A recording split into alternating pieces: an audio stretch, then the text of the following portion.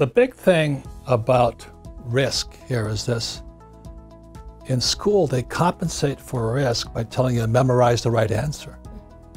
So in other words, these kids leave, young people like you, leave school thinking, oh, if I know the right answers, then there's no risk. And it drives old guys like me crazy. Because everybody's talking about millennials. What's wrong with them? Mm-hmm. You know, millennials are the most highly, in many ways, the most highly educated generation in history. They have the cell phone. They didn't get educated in school.